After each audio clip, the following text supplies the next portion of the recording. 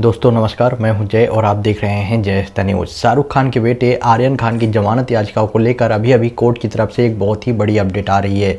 जैसा कि आप सबको पता है कि आर्यन खान को कल ही मुंबई हाई कोर्ट के द्वारा जमानत दे दी गई थी, लेकिन जो बेल ऑर्डर है, वो अभी तक पास नहीं किया गया था। यानी बेल ऑर्डर जो है, वो वकीलों को नहीं दिया गया था। लेकिन अभी अभी एक अपडेट आ रही है, जिसमें बताया जा रहा है कि सतीश मानी सिंधे को सेशन कोर्ट के द्वारा बेल ऑर्डर दे दिया गया है। अभी अभी जो अपडेट आ रही है, उसमें बताया जा रहा है कि जो बेल जेल का बॉन्ड था, उस पर जो है जूही चावला ने साइन किया है। एक लाख रुपए का इनके ऊपर चलान भी किया गया है, आर्यन खान के ऊपर। उस बॉन्ड पे जो है जूही चावला ने साइन किया है और एज अ जमानती जो है आर्यन खान के लिए वो वहाँ पर खड़ी थी।